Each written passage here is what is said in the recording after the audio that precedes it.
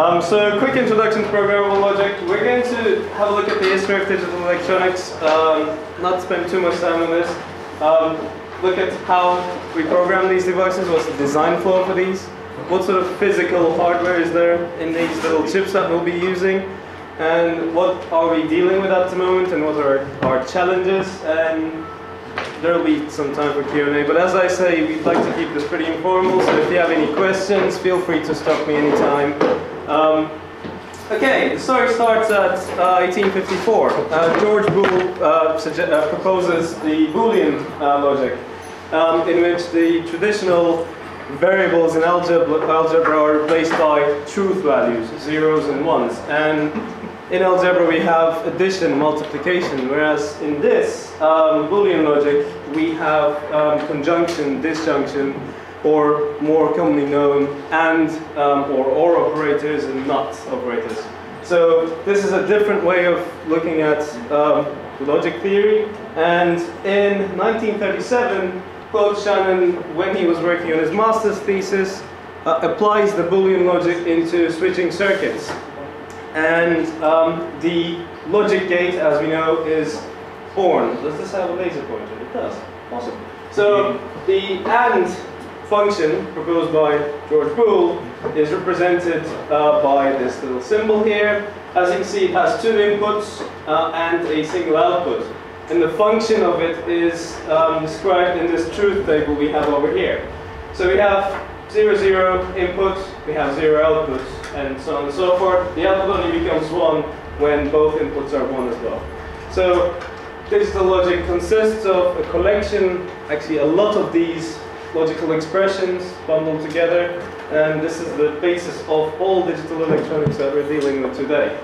Um, and then in 1947, um, the transistor is discovered with the um, silicon, silicon, transistor being introduced in 1954. We now have um, a way to represent these uh, logic elements or logic blocks uh, electrically using commercially off-the-shelf available beautiful transistors. And people go crazy. Um, that's a ring oscillator, that's I think an output stage from a Moog synthesizer. Um, and shortly after the introduction of these um, little silicon uh, transistors, people start building different families of logic devices or different ways of representing uh, logic. So um, DTL is diode transistor logic, so using discrete components like diodes and transistors and resistors, you now have the ability to put together these logical blocks together and then tie them together to perform a specific operation. Um, and with the introduction of the 7400 um, series of logic devices, we don't have to build these things out of discrete components anymore. Now they come pre-packaged in a nice little plastic chip. Um, for instance, this is a quad AND gate. Um, you can see that four AND gates are bundled into one chip. And by combining the lots and lots of these chips, you can start building computers now. And that's and all, of course there are loads and loads of these chips. You can buy anything from a quad 2 input NAND gate to a um, hex inverter to a triple 3 input NAND gate and so on and so forth. So for pretty much every single logical function that you want to perform, you can now buy a very inexpensive little chip to do it.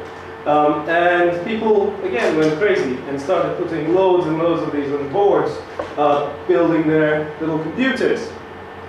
Um, this is such a beautiful picture. Um, and with the advent of microprocessors, um, this is the Apple II if you haven't noticed, um, we now start seeing the first generation of home computers and actual devices that make us play Pong and put graphical stuff on displays and stuff like that. But the problem is, the more um, complexity we want in our systems, the more we, chips we have to put down, etc.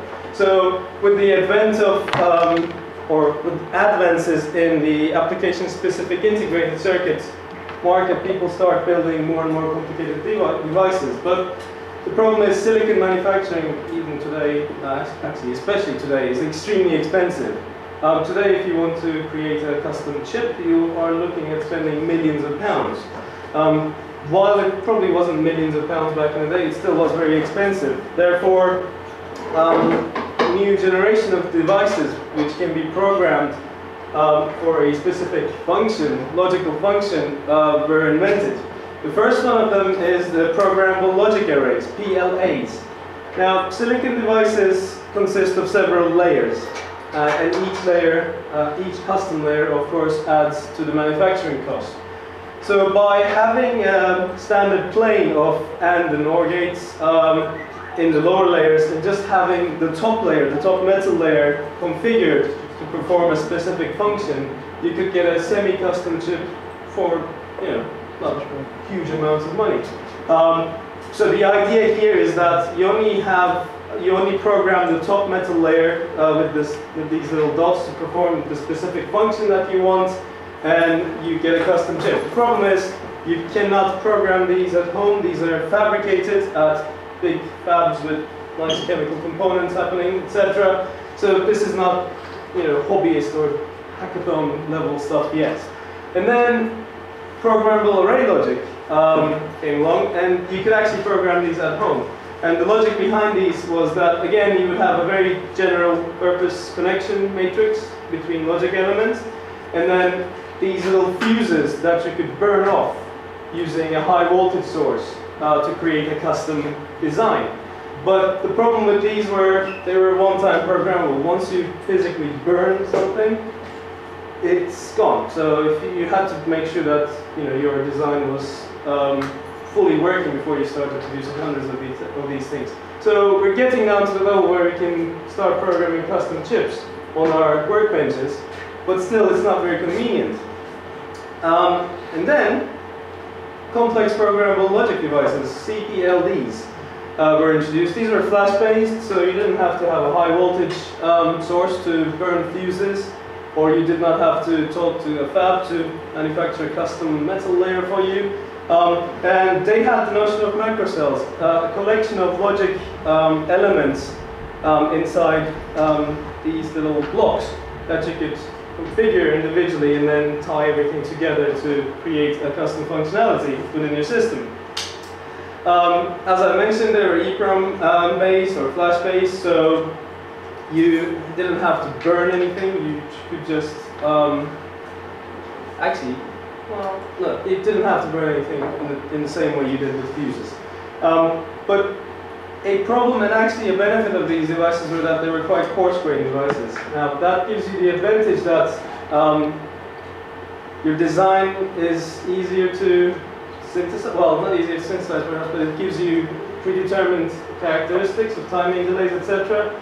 But creating fine-grained, really fine-tuned architectures is not really, well actually it's not possible with these devices. And then came FPGAs, field programmable gate arrays.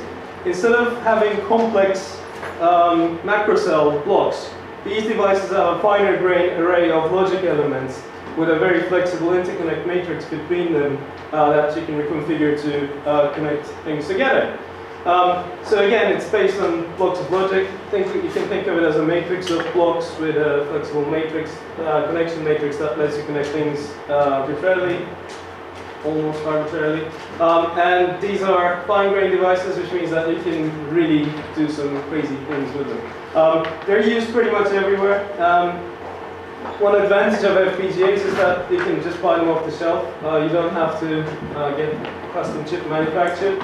So for high-speed applications that you're not going to be selling in millions, FPGAs are the choice of device to use.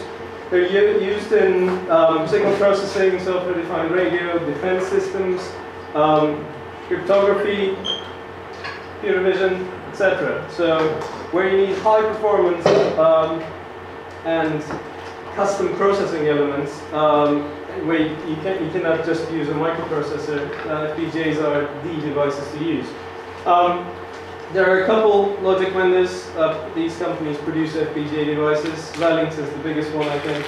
Uh, we're going to be using Altera uh, software tools and uh, hardware boards today. There are a couple other small startups as well. Um, so let's look at an FPGA. This is a great box, but let's say this is our FPGA fabric. Um, what, what is on this uh, or what constitutes an FPGA. As we mentioned, you have different logic blocks, and you can see that they're different color.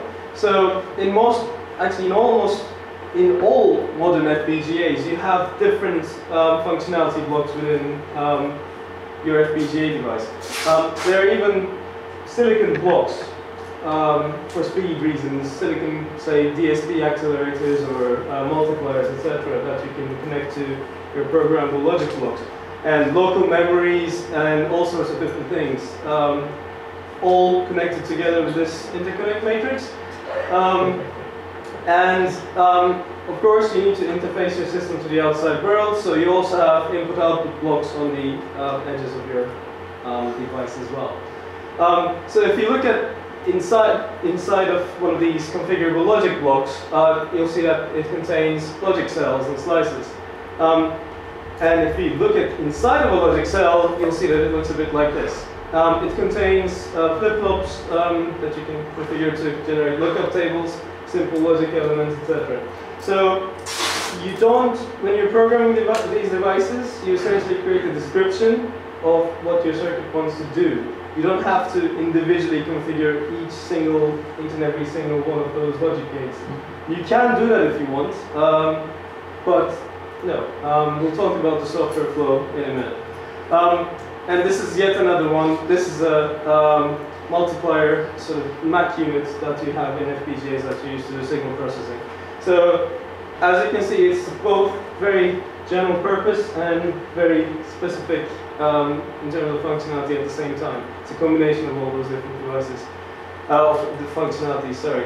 Um, okay, a small aside. When you compile a bit of software, this is a bit of C code, just print hello world. Um, what happens? Um, you generate a set of instructions that are executed on your processor, processing device, your CPU. Um, now, unless you explicitly put a CPU in your FPGA design, you don't have this. So you don't really use the term compile on FPGAs because there's nothing that can interpret your code unless, again, you explicitly put it there. So when we talk about FPGA compilation, what, what we actually mean is um, synthesis and implementation phases. Um, so a typical FPGA flow looks a bit like this. You put your design into your system, um, and then you go through lots of simulation, and the, red blocks are simulation phases. Um, you go through design entry, synthesis, implementation, and programming. Now, what do they actually mean? Let's look at them. Um, that's a bit unfortunate. That so that's that's a schematic base. So there are a couple of ways you can do. Um, your, you can enter your design into your magical box with a screen and keyboard. Um, the first one is schematic based. You can actually draw individual logic gates, connect them together, and you can choose to synthesize um, a small computer system that you of gates. But for complex designs, this is not very easy to do. And yeah, it's not really easy to do at all. Um, the other way, the most common way, is to use hardware description languages. Now we have VHDL and Verilog. Um, I have bits and pieces of little notes about Verilog versus VHDL. Please don't take them as, you know, I know there are some religious wars between VHDL and Verilog, so they're just for, they're light-hearted fun. Um, so, um, yeah, VHDL is um, has roots in Ada, and it was developed sort of for military applications, Department of Defense. Uh, Verilog is more for, it's more like C influence for software world, etc.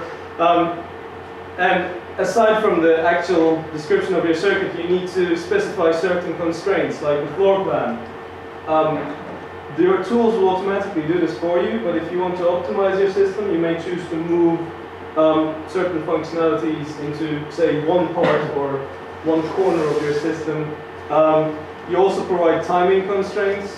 Um, say, I would like this path to not take longer than 20 nanoseconds. And most importantly today is that you have the option to give power constraints so that your tool will try to optimize uh, your design for certain power consumption criteria. Um, just a small example, this is what VHDL and Verilog looks like. This is um, just a simple um, shift register. Um, and you can see that VHDL is pretty verbose um, and Verilog is more compact. Um, if you're from a software world, Verilog is easier to learn. If you're from a hardware world, VHDL is easier to learn. So Verilog was written by a bunch of hardware guys who knew nothing about software. We beat until until you could do software with it, and vice versa. Anyway. Um, so aside from this, um, yeah, after we put in our syntax, um, well, actually our description of the circuit, we go through the synthesis phase, um, where first of all the syntax is checked, um, and you find that you've forgotten a million semicolons and stuff, um, and then the analysis and the optimization of the design, the hierarchical design happens, and at the end of this, you end up with a description called netlist which essentially describes how the blocks within your system are um, connected together. So after the synthesis phase, you go through the implementation phases. Uh, there are three. The first one is translate. So in, in this step, you merge the netlists, the description of how the blocks within your system are connected, with the constraints that you've specified, the timing, the power uh, constraints that you specified. Um, after this happens, you run functional simulation. Um, so after translation, map happens. Um, this is the phase where your um, system is, or the abstract representation of your system is actually mapped onto the blocks that we have in FPGAs. So um, your AND gates and your um, the blocks that you define are now mapped onto physical FPGA resources. Um, after this happens, because the characteristics of each of these blocks in silicon are known, uh, you go through static timing analysis to make sure that uh, your design matches the um, timing constraints that they have specified. Sorry. Um, after that, the final step is place and route. Um, PAR, as it's um, known in the hardware world, this takes a long time. Um, this places the map design, um, now uh, semi um, concrete description of your circuit or your design onto the FPGA fabric and actually decide how to connect things together. Um, remember that flexible interconnect matrix that we talked about? This is the step where blocks are determined and the connections between those blocks are made. Um, after that, again, you run through a static timing analysis to make sure that the design meets the uh, criteria that we set. Um, and finally, after the implementation phase, you end up with what's called a bitstream.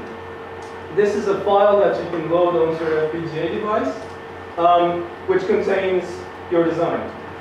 This, you can think of this as um, bytecode or um, actually there's no match in the software for it. But yeah, this is essentially the finished product of your design, um, ones and zeros that represent your design. So how do you actually program these things? Most FPGAs today are uh, volatile. So if, you, if they lose power, they lose their configuration. And every time you boot them, you have to load the configuration data in.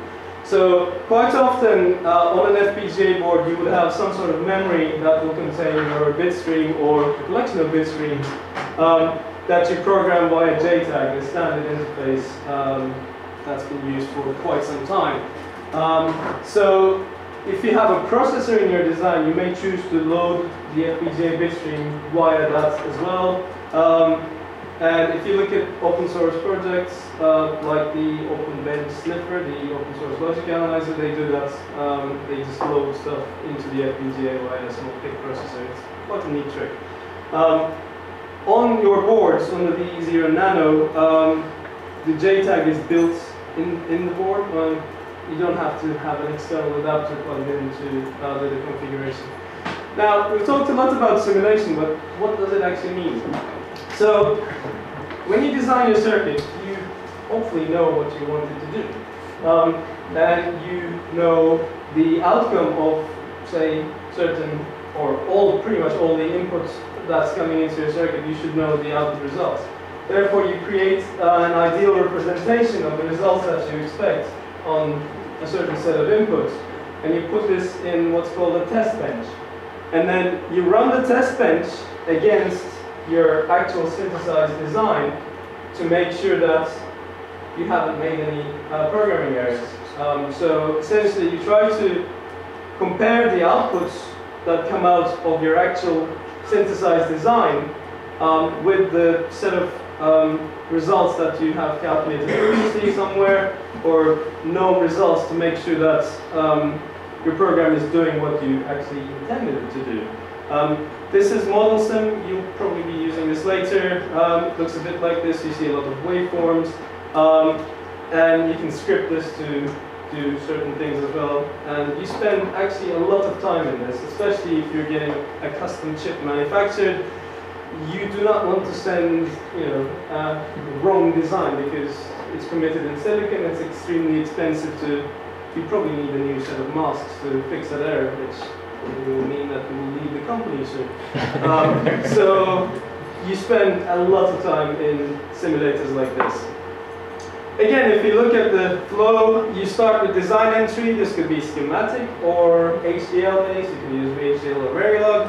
And then you do behavioral simulation. And then the synthesis happens, which maps um, your design, your VHDL or schematic entry, into what's known, uh, what's known as a netlist, an abstract representation of connections between the blocks that you define in your system. Um, and then you do you go through the implementation phase where you map the abstract representation onto an actual um, bit stream that contains your design that's synthesized and implemented specifically for the FPGA device that you're using. Uh, and then you program the bit stream um, via JTAG or any other means, um, and you should hopefully see some blinking lights on your board. Um, now we mentioned that FPGAs do not have do not act as processors, but you can actually add soft core processors to them. Um, and this is quite commonly used to orchestrate things. So you might have you might have lots and lots of uh, VHDL or Verilog blocks doing things, but for instance, networking, you might choose to do it on a sort of microprocessor system and then let the system be organized by this. Um, this is from the Xilinx kernel, it's called MicroBlaze. Um, there are lots of other um, software processes that you can use. And some FPGAs even have, say, physical ARM cores built into them as well. Again, you might choose to use it as the orchestrator of the system and use the logic resources to do serious number crunching, for instance, as opposed to just taking care of blinking some LEDs. Um, and this is what it looks like. You generate your system, add blocks, and then assign addresses to them, etc. Um, if you're interested, we can talk more about this later. Tomorrow we're going to talk more about this. Julius is going to talk about the OpenRISC. Hey, Julius. Um, and um, this won't be MicroBlaze, but it's actually quite a lot more interesting than MicroBlaze. Yeah. Um, so FPGA development happens on development boards mostly because unlike Arduinos, you can't really breadboard FPGAs because they come in pretty horrible ball grid, packages and have they have quite a lot of pins. Um, and the support circuitry is generally quite uh, sort of pain in the neck as well. Um, so this is a sort of kitchen sink FPGA development board. Uh, it has everything from a character LCD to couple of gigabytes of RAM and transceivers, etc. But luckily for us, we're not going to be dealing with something like this. We're going to use the DE0 Nano, which is awesome and cute. Um, this has an FPGA, surprise, surprise. Um, it has a bit of configuration memory, which you can load your bit streams into to load to boot your system. Um, this little guy takes care of the JTAG stuff, um, so you don't have to have an external JTAG adapter. And there's an accelerometer here, so you can do a cool demo. I think Julius is going to do a demo tomorrow about uh, waving around to change LEDs and stuff, right, Julius? Yep. Um, so this is a very good starter board because it's not really complicated and it gives you all these beautiful pin headers that you can stick external things into. Um, and I, I just have to put this here. This is a beautiful, beautiful board which has 101 FPGAs on it. Um, and you can't really buy this, I think, but you can rent it for 2,000 pounds a month. Wow. um, so, also, they strictly mention that you have to insure this board as well. So I, I, guess when you have to insure your FPGA board, you know you're dealing with something serious. Um, so yeah, this is pretty much what I want to talk about. Oh, state of the art. So logic devices um, usually use the cutting edge silicon technologies and all sorts of stuff. Um, like they they have the most transistors on an integrated circuit, or they have um, stupidly fast transceivers. Uh, like the Virtex 7 can do 2.78 terabits per second. This is pro speed, of course, not protocol overheads, etc. Um, and then you have devices like Zynq, where you have a dual core ARM processor plus a serious amount of programmable logic, where you can do some seriously cool stuff with. So the world of programmable logic is really, really interesting. If you're interested, um, just have a look at the EE Times or embedded.com, uh, mostly microprocessors, but you can find crazy applications for FPGAs. So hopefully uh, you will enjoy this workshop and um, yeah, have some fun with FPGAs. Um, challenges, really quickly. Tool chains are horrible. Uh, you'll probably find this out um, throughout the course of today and tomorrow. Um, they're mostly closed source. They're clunky. They're big. They're horrible. They're ah, but yeah, you have to use them. So okay. Um, and also, the software world is lucky. We have patterns. We have MVC. We have object-oriented programming and stuff. We don't really have that sort of thing in um, FPGA world. So every company, every vendor, every tool manufacturer has their own notion of organizing things together. Um, so this is a bit of a sort of nightmare as well. And this is very, this is very abstract, but it's also very relevant. Um, there are crazy stuff happening in these devices, but unfortunately using them is uh, very, very difficult for us mere mortals because um, the documentation generally sucks and it's really difficult to make use of all the crazy facilities that these things have. Um, so sometimes if you want to use the 2.78 terabits per second transceiver, you'll have to do a lot of digging and in the end you'll have to talk to someone from the company to actually figure out how it works. Um, but yeah, other than that everything's fine. So thank you very much, that was my part of the presentation. Um, if you have any questions, feel free to um, Can you just, ask, just my benefit, the, the grain, I didn't grasp that at all You mentioned coarse and fine grain? So the coarse grain and fine grain. Um, coarse grain essentially means that you have a lot of stuff bundled into a sort of generic purpose or general purpose block. Now, your design might fit very well into it, or it might not be able to use the pre-configured set of devices that's within that block very sort of efficiently. So if you have a fine grain architecture, you have more flexibility in optimizing your design. But If it's coarse grain, you can't. But as I've mentioned, coarse grain means that you can do timing analysis well, you can ensure that the timing criteria is more easily because there's less sort of flexibility. That makes sense. Um, and fine grain essentially means you know that it's more. Anything else? Just out of curiosity, that big board, what is it being used for? That's used for ASIC emulation. So if you're going to send out quite a large design to be manufactured in silicon, you want to make sure it works before you do that. So you use those sort of stupidly large and expensive boards to emulate your really, really large ASIC designs. And probably you can use it to heat up the room as well. so there's a space heater. Also. Yeah. Yeah. I mean, if you get two of them, I'm sure you can. Yeah. Interesting. Okay. Is there a, a life um, to FPGAs?